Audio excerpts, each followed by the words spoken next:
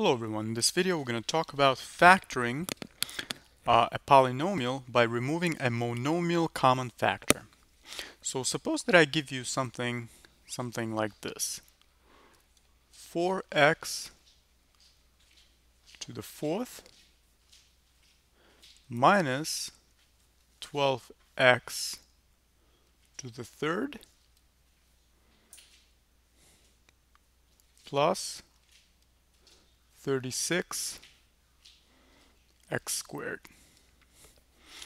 So how are we going to factor this? Well, uh, we have to think of the coefficients first. The coefficient the coefficients are 4, 12, uh, negative 12, and 36. Now, as you can see,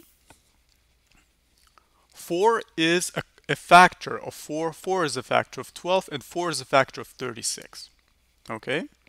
So we can actually take the 4 out and what else besides the 4 is a factor of all these three terms of each of these three terms?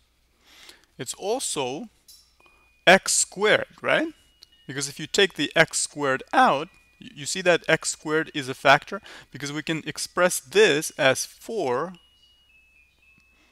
x squared times x squared minus 4x squared and then have it as 3x to give us negative 12x to the third, right? And then plus 4x squared and then simply multiply by the 9 to give us 36x squared, right? So the common factors, uh, the common factor for each of these terms will be 4x squared common factor. And it is also a monomial, right? Monomial because it's a one-term polynomial. So that's why it's called monomial. Okay, so it's a common factor. So what happens if we take it out? If we take it out um, and reverse the distribution method, we will have 4x squared be in one place and have x squared minus 3x plus 9. You see? So we reversed the distributive property of multiplication of one polynomial with another, and we achieved a factoring method here. We achieved a factoring form for x squared times x squared minus 3x plus 9. Okay, let's do another example really quick. So if I give you something like this, negative 3x to the third um, plus 9x squared minus 27x. Okay, so think of negative 3 and 9 and, and negative 27. The common factor will be negative 3 right? So negative 3 is the common factor when you're thinking of coefficients. Now what about the variables? The smallest power to the variable that is shared among all three terms will be the x to the first power, right? So we can take it out as well, right? So negative 3x is a common factor, a common monomial, okay? Common factor, monomial. Okay, so let's take it out and see what we get. So negative 3x to the third can be expressed as negative 3x times x squared.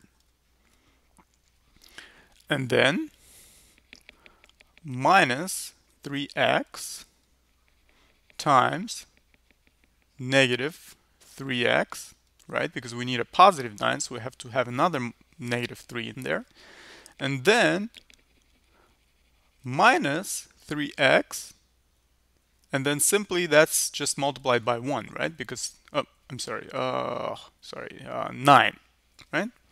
The 9 okay um, so now in the end we basically have this negative 3x squared sorry negative 3x uh, reversing the distributive property we get x squared minus 3x plus 9. Right? And that's actually, notice that this factor is the same one as that, but it's just uh, happening by coincidence. But basically, this is how you would factor. And notice that you cannot factor x squared minus 3x plus 9, right? Because there are no factors whose product will give you 9, whose sum will give you negative 3. That's impossible, right? Because the factors of 9 are, uh, think of negative factors of 9, because, because we have to have a sum that's a negative number. Um, you can have 9 and 1, and 3 and 3, right? Or negative 3 and negative 3 in this case. Let's think of negatives. So negative 9 and negative 1, the sum will not be negative 3, will be negative 10, right? And the sum of negative 3 and negative 3 will give you negative 6, which is not negative 3. So x squared minus 3x plus 9 in both cases, in both of these examples, cannot be factored. So this is the this is the farthest that you can get in terms of factoring. Okay, so this is how you factor out the common factor, the monomial, when you see an expression like this. I'll see you in my next video. We're going to talk about um, another factoring form.